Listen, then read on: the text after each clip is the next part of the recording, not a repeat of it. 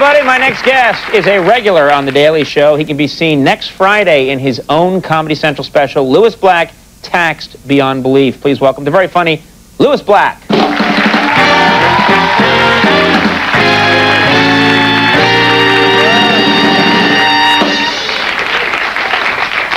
You know, um, after September 11th, the weather in this country went completely nuts, and nobody seemed to notice. It was the hottest fall ever, okay? It was actually so warm, it was spring.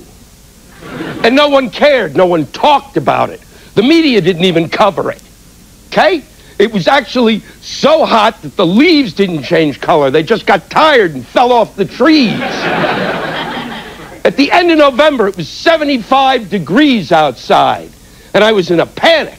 I said, by mid-December, it's going to be 130. People coming home from work, the sun a foot from their heads, sweating like little pigs, going to the refrigerator to get something to drink, and the eggs would be done. and nobody seemed to notice but me. Nobody worried that it was spring and it should be fall. No, people were worried about anthrax and smallpox. I mean, five people died of anthrax, and that's horrible. But it's five. Five! Everybody was freaking out. I don't want to get anthrax. Well, you're not going to get anthrax, idiot, unless you screw a sheep. anthrax?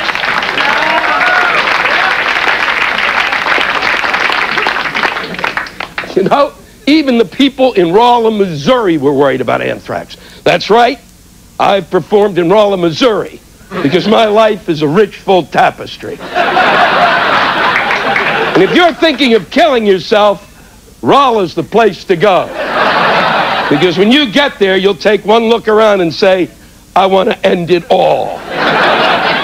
you can't even get there directly. You fly to St. Louis. And then you drive two hours on Route 66. They wrote a song about it, but not that part of the highway. it's completely desolate. And the first sign I saw, bright blue background, white letters, Jesus. And there wasn't a phone number or nothing. And just as I was forgetting about that sign, there it was again. Bright blue background, white letters, Jesus.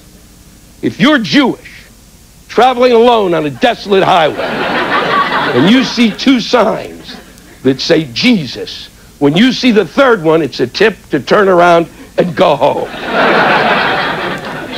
but the people in Rolla were worried about getting anthrax. They said, what are you going to get it? How? Huh? From a Kmart catalog? what are you people thinking? Nobody wants to kill you. Look at where you live. You're already dead.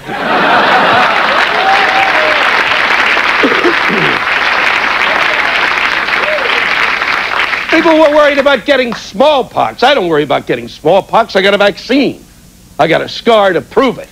Because back then they didn't have the proper equipment and they used a coke cap and they just scratched me. and I'll tell you this if I get smallpox, I'm suing the government because they took me out of class to get that vaccine. And if I'd been in that class, I wouldn't have to do this for a living. I'd have a real job like at Enron. Meanwhile, we hadn't had a real spring in, in 40 years. And when it finally came, it was fall. I was screaming at people, look at the calendar. We're going backwards. We're going backwards. I was in a total panic. I thought it was environmental terrorism. You don't know. You don't know. I thought there was some guy in Afghanistan, you know, with aluminum foil on his head in the mountains with a couple of black and white televisions mucking with our weather. And if it's not environmental terrorism, it's global warming. And if it's global warming, we should do something about that. Okay? 135 nations signed that global warming treaty. We didn't sign it. Nations that couldn't read the treaty signed the treaty. We had to explain it to them. Burr, burr, sweaty, sweaty, signy, signy.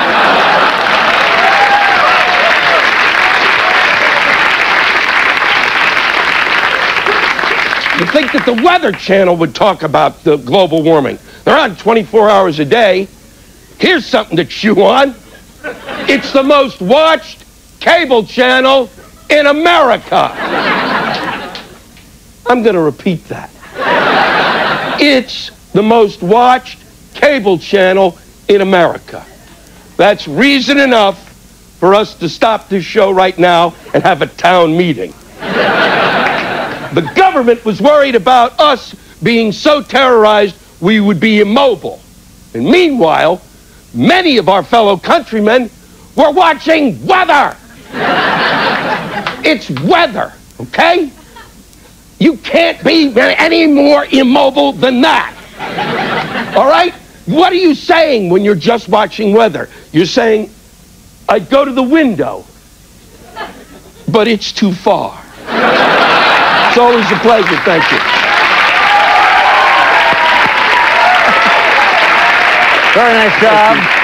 Lewis Black, everybody. We will take a break.